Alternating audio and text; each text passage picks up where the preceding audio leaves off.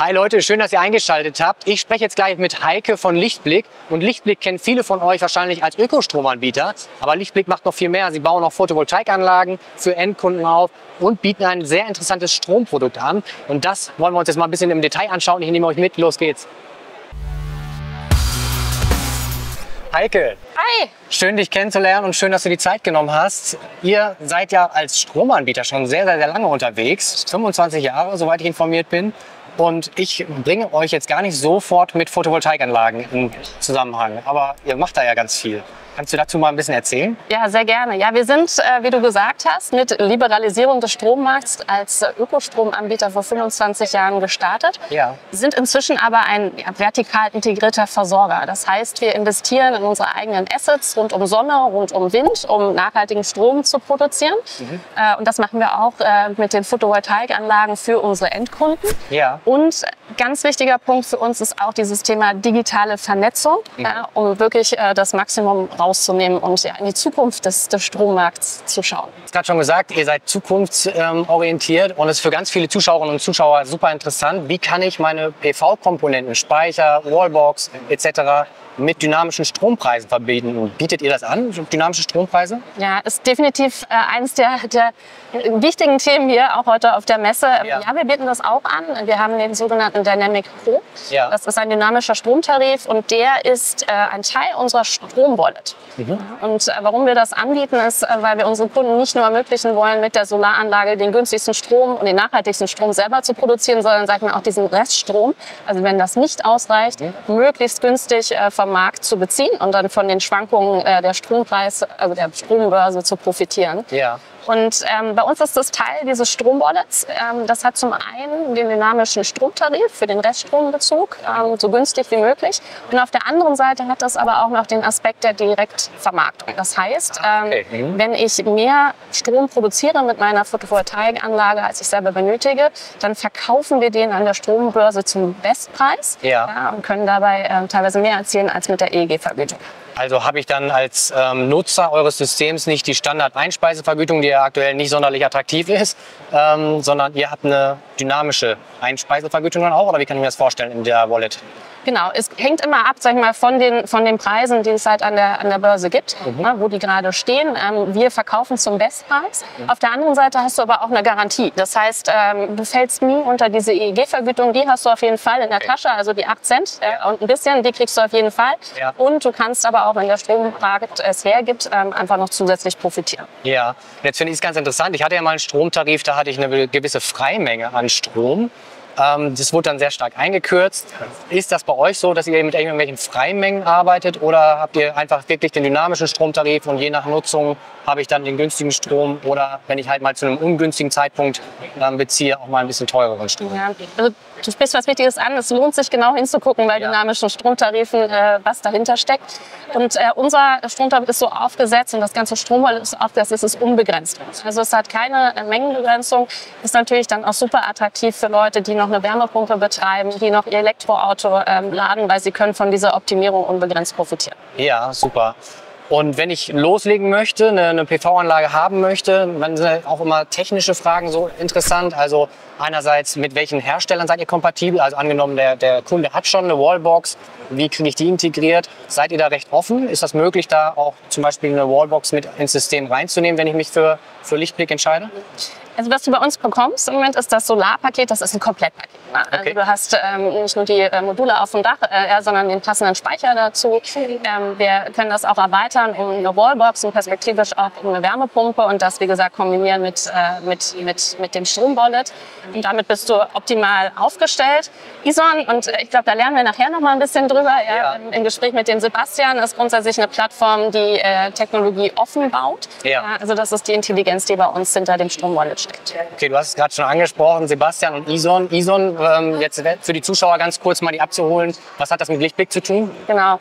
Ähm, ich habe es vorhin gesagt, unsere DNA liegt in der Nachhaltigkeit. Also wir sind Pioniere, äh, was das Thema erneuerbare Energien geht. Und wir haben ähm, vor ein paar Jahren äh, eine eigene Gesellschaft gegründet, ISON, Mhm. äh, die quasi unser virtuelles Kraftwerk äh, sind ja, Ja. und entwickeln. Ja. Und die entwickeln die künstliche Intelligenz, also die Optimierungslösung hinter dem Stromwallet.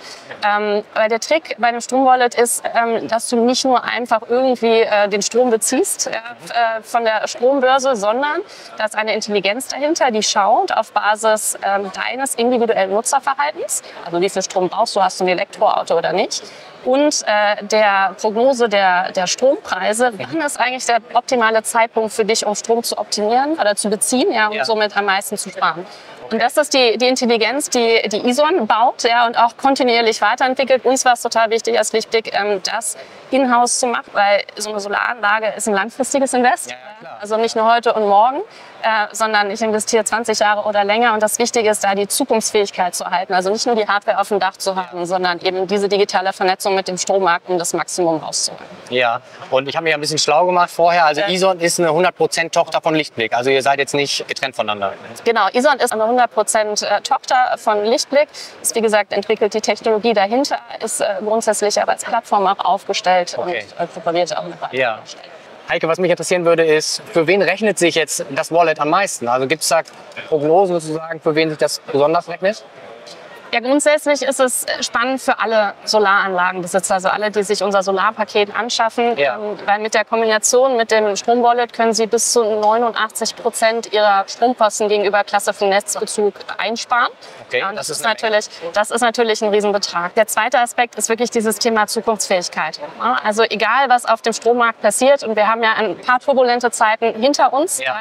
ähm, man ist gerüstet, weil mit der Intelligenz von, von dem Stromwallet man einfach das Maximum aus dem Markt rausholen. Ne? Ich kann günstig einkaufen, ich bin nicht an, an 40 Cent ja, Bezug äh, gekoppelt, sondern ich kann von den günstigen Preisen profitieren. Du weißt es selber, teilweise sogar negativ. Ja, ja, und auf der anderen Seite habe ich eben diese Option, wenn die Preise steigen, dass ich eben meine Direktvermarktung das maximal erwirtschaften kann. Ja. Das heißt, ich kaufe mir ein, ein, eine Zukunftsfähigkeit zu meiner Solaranlage dazu. Und besonders spannend ist es natürlich auch jetzt schon für, was ich vorhin gesagt habe, diese Vielnutzer. Ne? Also wenn ich mein Elektroauto mit äh, dazu zunehme oder die Wärmepumpe und ich habe also wirklich hohe Verbräuche. Ja. Genau, und unbegrenzt optimieren kann, ist das äh, etwas, was sich sehr, sehr schnell auszahlt.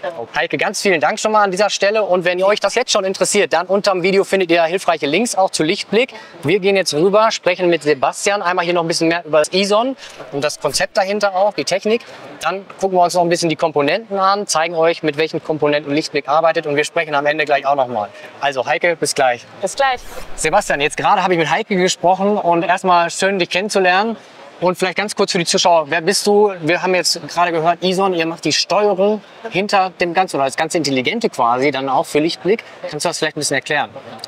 Ja, sehr gerne. Ich bin Sebastian Marlow, also 20 Jahre in der Energiewirtschaft ungefähr und Geschäftsführer von Ison. Mhm.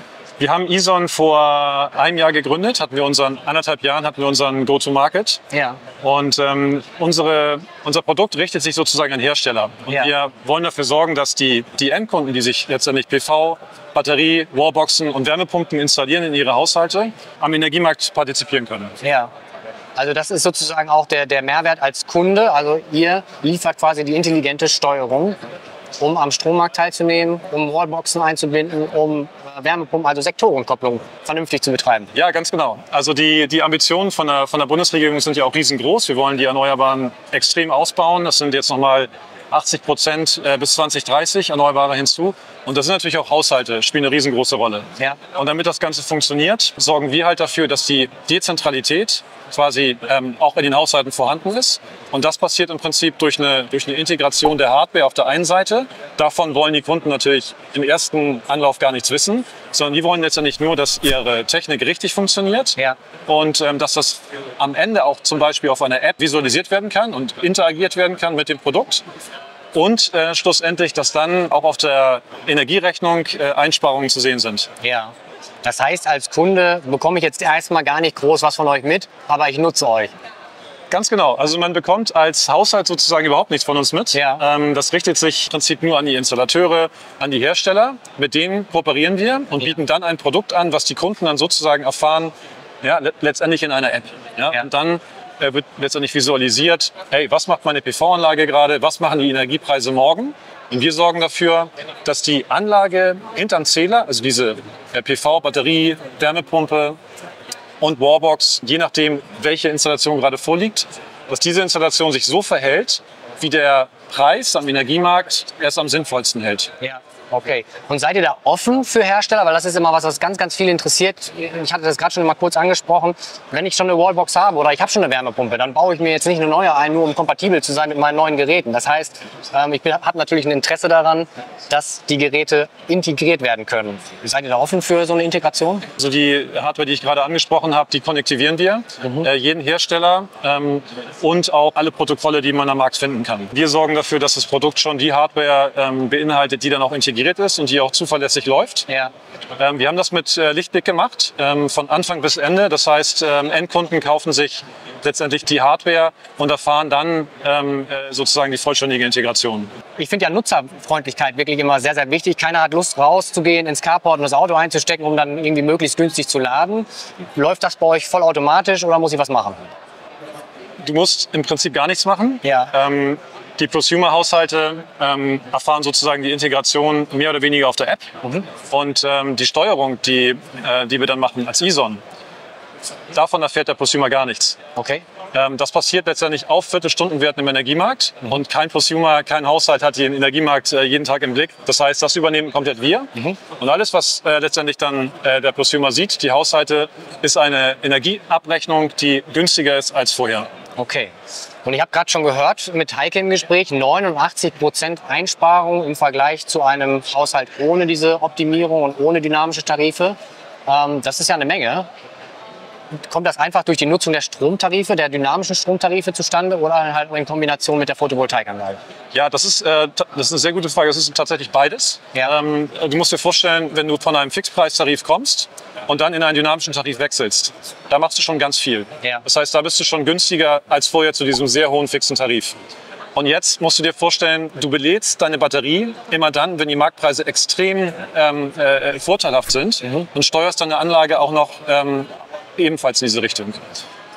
Dann kommt zusätzliche Nutzen und dann kannst du in einem dynamischen Tarif nochmal weiter profitieren. Okay, super. Danke für die Erklärung. Und ich bin mir sicher, dass Alex, der kann uns da jetzt gleich noch ein bisschen mehr erklären zu den Produkten, denn das ist auch noch mal ganz interessant für die Zuschauer. Welche Batterien nutzt Lichtblick da? Welche bindet ihr da mit ein? Und das wollen wir uns jetzt noch mal genau anschauen. Und da gehen wir jetzt zu Enphase. Super. Cool. Alex, schön dich kennenzulernen und du bist bei Lichtblick verantwortlich für die Produkte. Und deswegen stehen wir jetzt hier bei Enphase, denn ihr arbeitet sehr eng mit Enphase zusammen, richtig? Ja, genau. Wir haben äh, eine sehr gute und lange Partnerschaft schon mit Enphase ähm, und sind da auch sehr, sehr glücklich. Ja, lass uns da doch bitte mal ein bisschen auf die Produkte eingehen, weil das interessiert die Zuschauer und Zuschauerinnen immer sehr. Wenn ich mich mit einer Photovoltaikanlage auseinandersetze, gehört ja ein bisschen mehr heutzutage dazu. Und Ja. ähm, warum arbeitet ihr mit Enphase zusammen und welche Komponenten verbaut ihr da? Ja, also zum einen ähm, arbeiten wir mit Enphase. Ich glaube, das ist so dieses äh, Hauptprodukt, sieht man hier, die Mikrowechselrichter. Das ist äh, einfach ein sehr innovatives Produkt. Ähm, was jedes Modul einzeln optimieren kann. Also nicht mehr wie bei einem String-System eine Anlage, also alle Module werden auf ein oder zwei äh, Strings verteilt, sondern jedes Modul kann einzeln optimiert werden. Man braucht auch keine Optimizer mehr. Es ist vor allem gut bei zum Verschattung äh, oder nicht optimalen äh, Dachflächen oder Ausrichtungen. Also das, das finden wir halt sehr, sehr gut, weil wir da die Produkte maßgeschneidert für unsere Kunden zusammenstellen können. Und was auch noch raussticht, ist die lange Produktgarantie. Also Standardwechselrichter sind ja acht bis zehn Jahre Ja. und äh, Enphase bietet hier 25 Jahre Garantie auf die Wechselrichter. Okay, das ist eine ganz schön lange Zeit. Ähm, da Garantie können wir direkt mal rüberschwenken zum Speicher. Welche Garantie gibt es da? Beim Speicher haben wir auch äh, Ausnummer herausragende Garantiezeiten. Das war auch ein Grund, weshalb wir uns für Enphase entschieden haben. Das sind eben 15 Jahre, äh, was auch für einen Speicher sehr, sehr lange ist, oder 6000 äh, Zyklen. Also je nachdem, was äh, früher erreicht wird. Und äh, genau, das war wirklich ein Grund, weshalb wir gesagt haben, Enphase ist ein sehr, sehr guter Partner. Und zum Thema Speicher finde ich es für die Kunden immer ganz, ganz interessant. Ist das möglich, den zu erweitern? Also kann ich klein anfangen und dann erweitern? Ist das mit Enphase möglich? Ja, absolut. Also äh, bei der aktuellen Speichergeneration haben wir 3,5 Kilowattstunden Kapazität pro Modul und das kann man bis auf 42 Kilowattstunden hoch, äh, hoch äh, bauen, wenn man möchte. Und das ist Ja. jederzeit nachträglich erweiterbar. Okay, und welche Leistung hat der Speicher dann? Also ist ja für viele Kunden auch ein Thema. Ähm, Elektromobilität, Wärmepumpen einbinden und vor allen Dingen halt den Haushaltsstrom abdecken. Das sind ja die langen Lasten quasi. Ja. Welche, welche Leistung hat der Speicher? Das ist 1,28 Voltampere. Ja. Lade pro Modul, ne? Also- genau, genau, pro Modul. Und wenn ich das skaliere, dann habe ich dann dementsprechend mehr Leistung. Ja, genau. Ja, okay. Und ähm, hier sind ja jetzt schon neue Produkte ausgestellt. Ähm, die haben wir schon kurz gerade drüber gesprochen. Sind jetzt aktuell noch nicht bei euch im Portfolio, aber sobald die verfügbar sind, kriegen die Kunden dann auch bei euch den neuen Ja, ganz genau, da warten wir auch schon äh, sehnsüchtig drauf. Also Ja.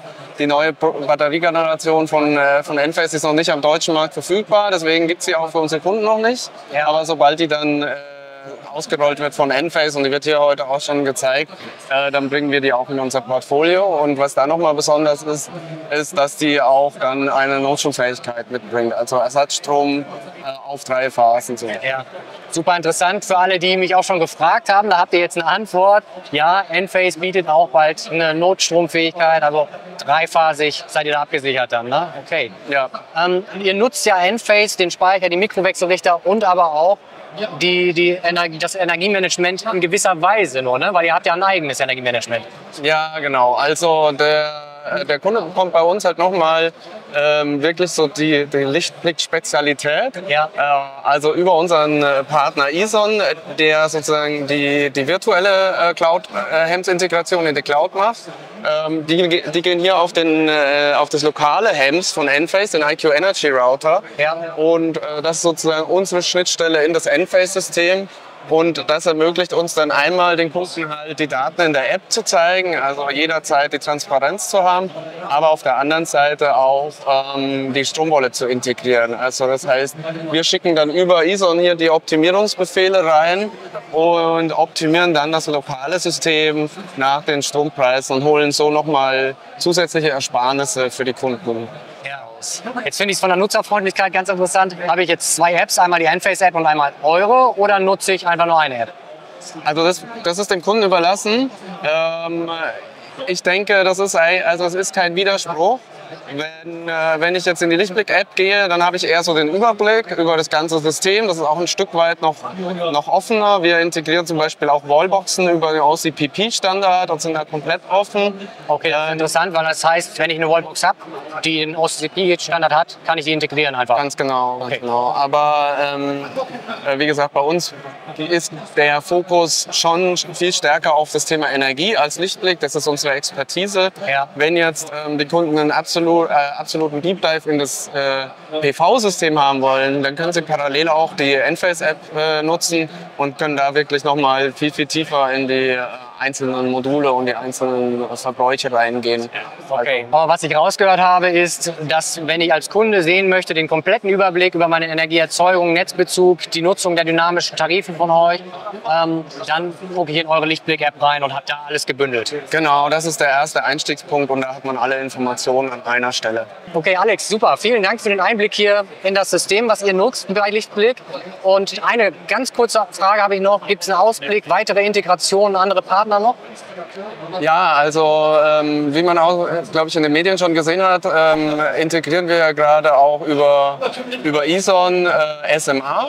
Ähm, das ist allerdings erstmal für die Stromwallet, also nicht, nicht die Hardware. Ähm, wir, wir setzen schon hauptsächlich auf Enphase als Partner, aber äh, wir sind auch nicht absolut exklusiv. Ist viel Bewegung im Markt. Ganz genau. Okay, super. Vielen Dank. Und dann wechsle ich jetzt nochmal zu Heike rüber und wir sprechen nochmal mal kurz zusammenfassend über das Wallet und das Lichtblicksystem. Vielen Dank, Herr Alex. Super, danke dir. Okay, jetzt haben wir ganz viel gelernt über die Technik dahinter mit Ison, über die Einbindung der Geräte von Enphase, die ihr nutzt. Und mich würde interessieren, und das ist super spannend auch für die Zuschauer immer, wie ist denn jetzt der Weg, wenn ich mich für Lichtblick entscheide? Weil ihr habt ja euren Hauptstandort in ähm, Hamburg. Und wenn jetzt jemand aus, sagen wir, Nordrhein-Westfalen sich für Lichtblick interessiert, muss er ja nicht über Hamburg gehen. Oder wie läuft das bei euch? Nee, genau. Also äh, wir sind offen für jeden äh, aus, aus Deutschland und der Weg ist immer so, dass man auf unserer Online-Buchungsstrecke anfängt, also Lichtblick äh, slash Solar Ja. äh, und klickt sich da durch den Online-Funnel und äh, kommt dann in einen individuellen Beratungstermin äh, mit unseren PV-Beratern. Uns ist immer wirklich wichtig, jede Anlage ist individuell konfiguriert. Das heißt, wir schauen auf dein Haus, auf deine Ausrichtung, auf deinen Verbrauch ja, und ähm, optimieren die Anlage so, dass du die maximale Ersparnis hast. Ja. Ähm, uns ist auch wichtig, wir schauen uns das Ganze vor dem Verkauf vor Ort an. Also da kommt jemand bei dir vor, vorbei. Äh, das ist ein großes Invest für dich und dann wollen wir uns das Haus eben auch anschauen. Und dann der letzte Schritt ist die Installation. Da haben wir uns bewusst für eigene regionale Solateure entschieden. Ja. Das heißt, wenn du jetzt aus, aus Köln kommst, da haben wir da unser, unser Kölner Team. Und das hat den großen Vorteil, dass die natürlich die Gegebenheiten dort kennen ne? und tatsächlich auch, wenn noch mal äh, was dann dran sein sollte an deiner Anlage innerhalb von 20 Jahren, was in der Regel nicht der Fall ist, aber es ist ja eine lange Zeit, sind die einfach um die Ecke vor Ort greifbar.